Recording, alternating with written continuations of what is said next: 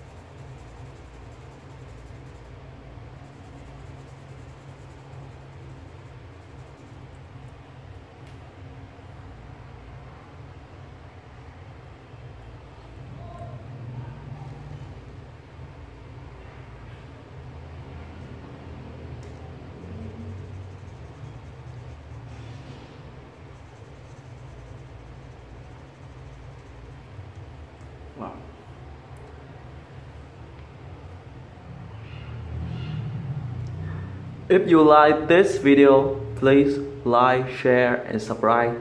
Thanks for your watching. Goodbye. See you next time.